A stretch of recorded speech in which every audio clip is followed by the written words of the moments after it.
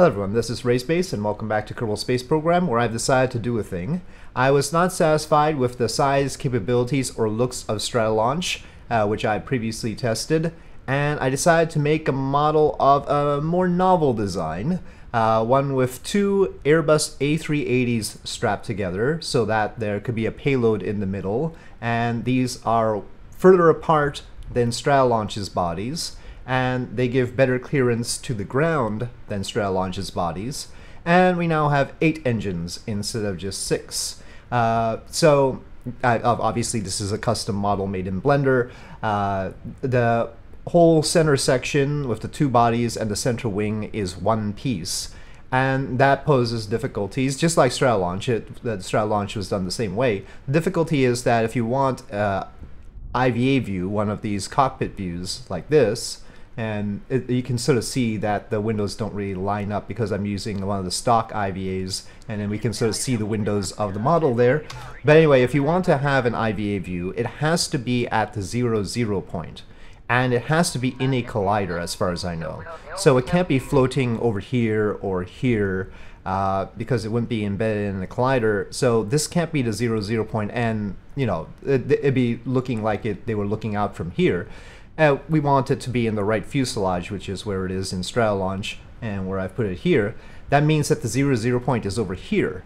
And that's a complication for Stratolaunch in this. I have to move the center of mass to its correct position, the center of lift to its correct position.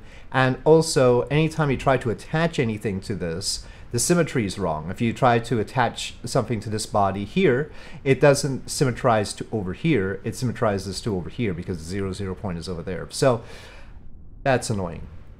But anyway, we have it. And uh, I used rescaled uh, Stratolaunch wings for the outboard, though I don't have textures unlimited on them. That's why they're not as shiny as the body.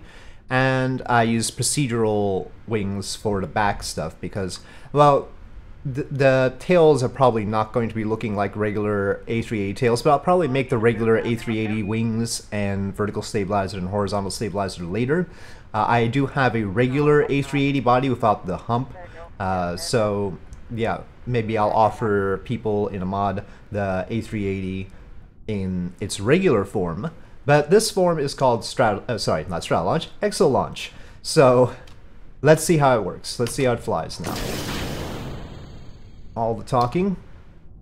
Here we go. So the engines, I did have Trent 900s, but they weren't working for some reason. So I've got these GE GEnx uh, 1B76s. Oh gosh, it's going off course. Um, it's a big plane.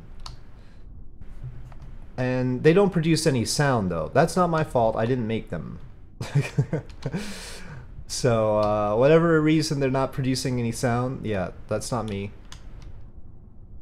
Okay, we should be able to take off, hopefully. Hopefully. We don't have any payload. Now, without a payload, this is heavier than the maximum takeoff capacity of the AN-225 or Stratolaunch. The AN-225 uh, maximum takeoff capacity is 625 tons. So that's with its payload. So we have no payload and we're taking off like this. But we do have 200,000 liters of kerosene. I really wish these engines would have sound though. Maybe I'll have to go back to using the ones that I had on Stratolaunch. So it's it's a fair amount heavier than Stratolaunch as far as its empty mass is. Uh, 477 tons. Stratolaunch is only 265. The bodies of the A380 are big. And the wings are bigger, of course, but they're not that much bigger. Uh, the, they're, the wingspan is 22% longer and the wing area then ends up being about 46% long, uh, not longer, but bigger, more wing area. And so that doesn't quite make up for the extra mass, so it's a question about what kind of payload capacity we can expect from this. But I was in particular looking for something that had at least 9 meters of ground clearance. I wanted something with a tall body, and the A380 has the tallest body available. And uh, as a bonus, it's got a fairly flat back, as opposed to the 747, of course. But it is taller than the 747. On its own, without its payload, of course, it can go nice and fast and doesn't have too much problem. But we're going to do a payload test after this flight. I will maintain it looks better than Stratolaunch. I hope you will agree. Okay, well, we're gonna have to slow down somehow. I did not put air brakes. as, as usual, I did not put air brakes. This is the maximum roll I'm giving it right now. We're also very heavy with the fuel, but we would be expecting to land with a payload at least this heavy, so...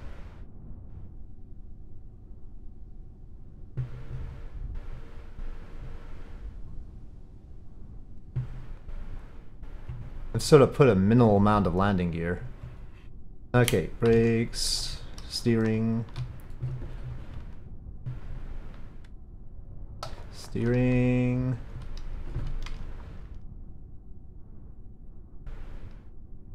Well, cloud of dust I don't really need. That, that dust effect is sort of overdoing it, isn't it?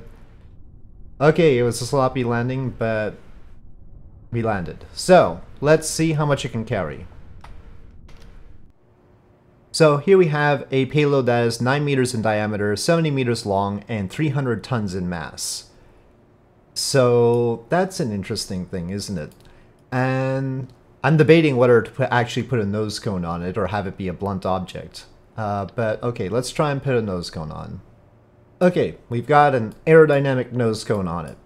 And that nose cone is, well, we don't need the avgas in that.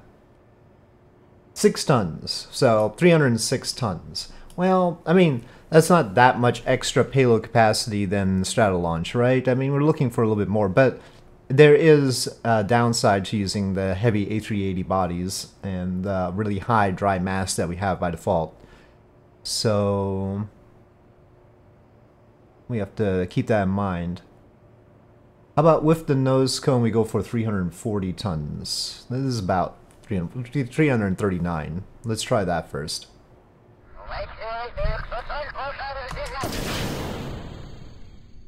Okay, here we go.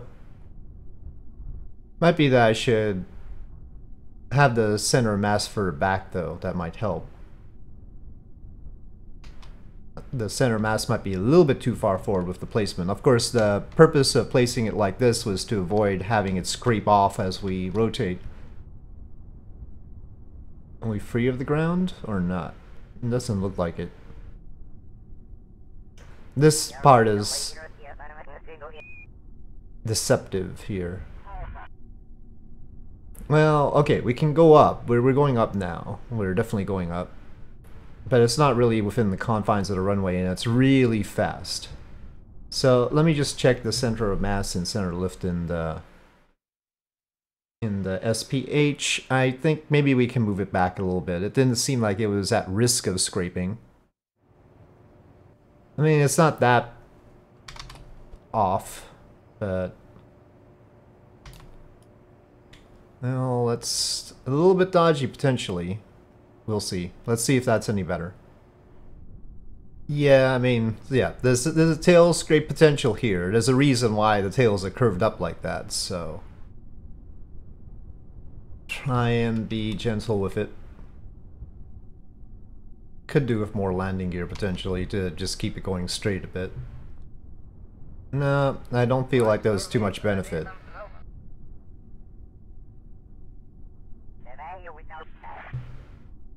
Well, we can go up.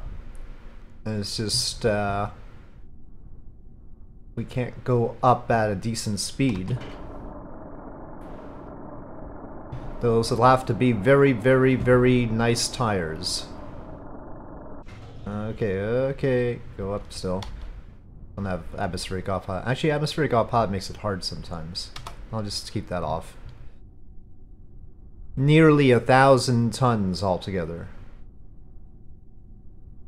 Yeah, I might have to think about replacing the engines. I don't know why it's showing two different kerosenes either.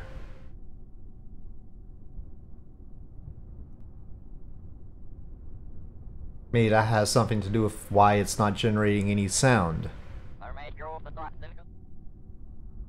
But yeah, uh, going 150 meters per second, or more than 300 miles an hour, it can carry this load. Not the ideal arrangement.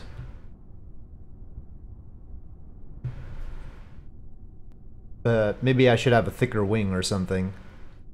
I could try and uh, make the bodies lighter. I, I could just write in whatever mass I feel like, of course. Uh, but you know, I don't actually know how heavy the body of an A380 is when you strip out everything inside. So, I do not know that. I made a best guess. But now the question is, can I land a 960 ton plane with that payload in the center? Oh dear. Of course, it'd be better to do that without the extra fuel. We've gotten to about 10,000 feet.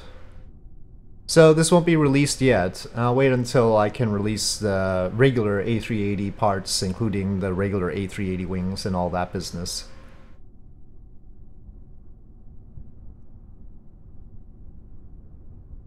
This is what I wanted it for, though. I didn't really want the regular A380. That was just a byproduct of making this. And next up is the Beluga XL.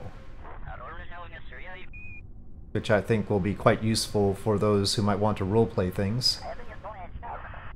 Well, actually, we're below the stall speed of this. The stall speed of the one without the payload was like 100 meters per second. Which I think is a bit much too. But uh, we have to keep in mind that with FAR the aerodynamics at low speeds is a bit weird. And things have to go faster in order to take off and have higher stall speeds and everything. So... That's just a general thing across the board. So as far as the takeoff speed of this goes, the I yeah I, I don't know if that would be the takeoff speed of it in real life. I think it its real life one is very likely much lower than that.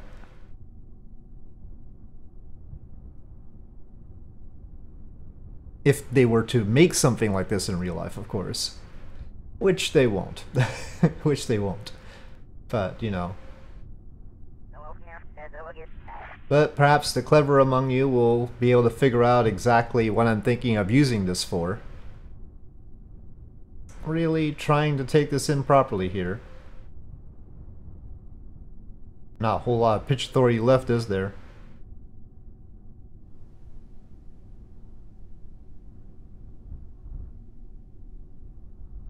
Okay. Okay. Touchdown at 130 meters per second. Ah. Always with these things. I need more runway. Okay, well, just a little bit more runway. We can work on the landing, landings or get a bigger runway. Alright, so there you have it, Exolaunch as I call it. Uh, 333 tons right now, but uh, maybe, oh, I don't know. I think I would have to carry less fuel. We could easily carry 100,000 uh, kilograms less or 100 tons less. Uh, or instead of carrying less fuel, lighten up the bodies a bit. Again, empty mass of this is 477 tons. So it's pretty darn heavy.